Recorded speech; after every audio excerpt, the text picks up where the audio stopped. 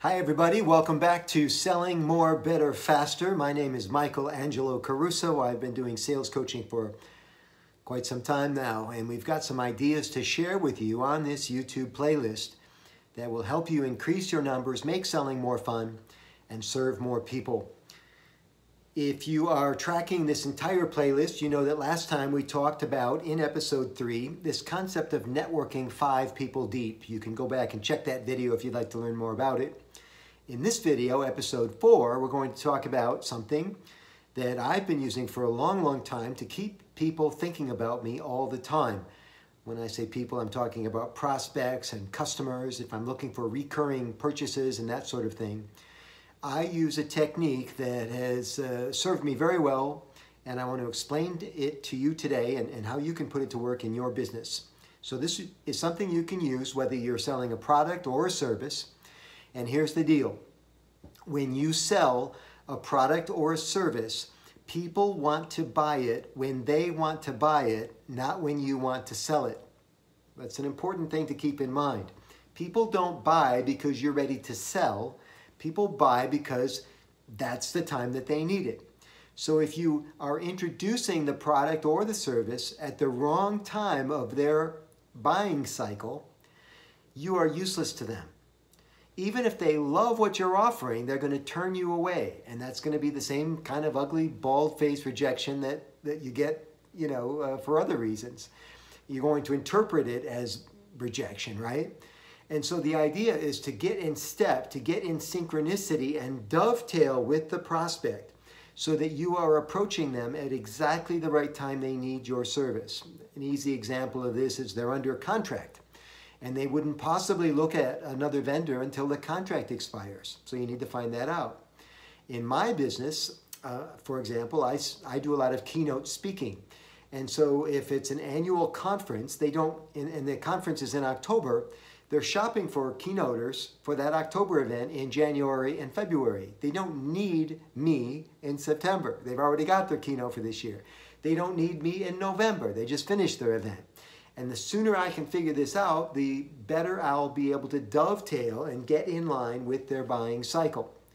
Now, the technique I use to do this is called TOMA. It's an acronym. And TOMA stands for, TOMA stands for top of mind awareness. So when I establish top of mind awareness with my prospect, I am introducing myself to them at exactly when they need me, not approximately when I need them. You see, big difference. So how do you establish TOMA in the buying cycle of your prospect? Well, there are a number of ways, of ways to do this. To get somebody thinking about you all the time, you have to first of all understand that it's a thin line between, between Toma and being a pest, right? If you're a realtor and you want to sell somebody a house and they're not in the mood yet to sell the house that they're in, you can't be knocking on their door, physically or metaphorically, and saying, hey, I've got a house for you, I've got a house for you. They already told you they're not ready, right? So you want to be friendly about this and you want to be non-pesty about this, what are some ways that you can do it? Well, here are some ways. One is that you can set up a newsletter distribution or a magazine format. Some people don't do newsletters anymore, but they're, they're doing a, a magazine or an e-zine, right?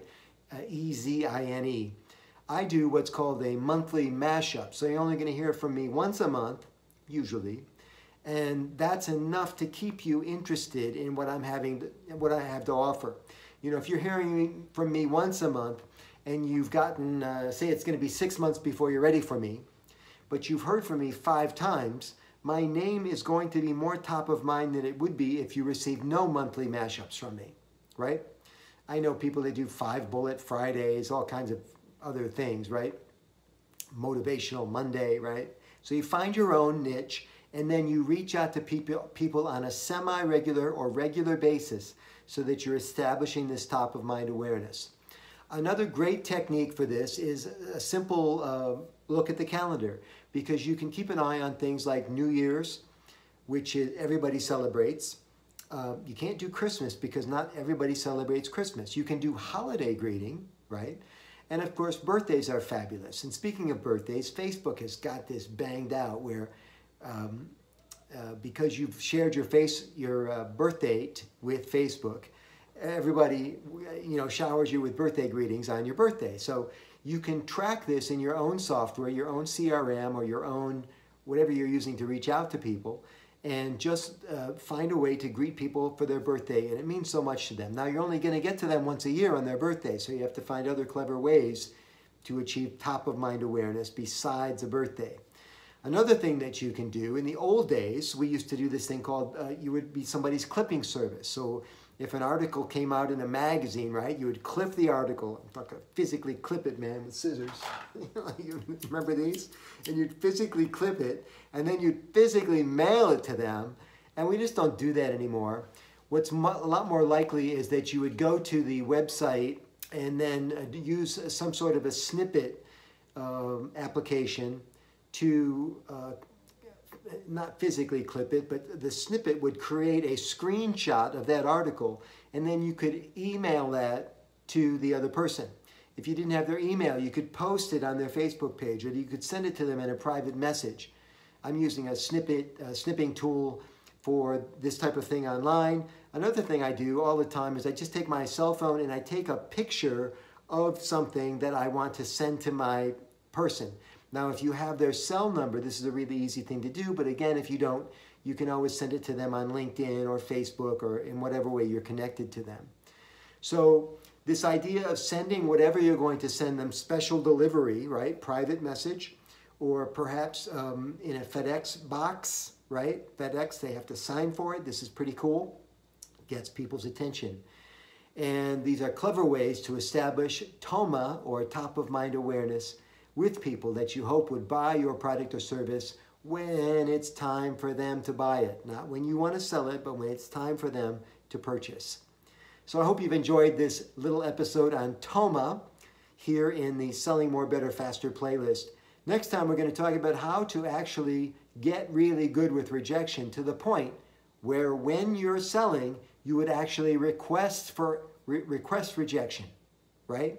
And I, I'll teach you more about that on the next video. If you like what you're hearing in this video series, make sure you subscribe. Click that silver bell on YouTube, and that way you'll be notified of new videos as they're posted. Best of luck when you're selling out there, and we'll see you soon. Thanks, everybody.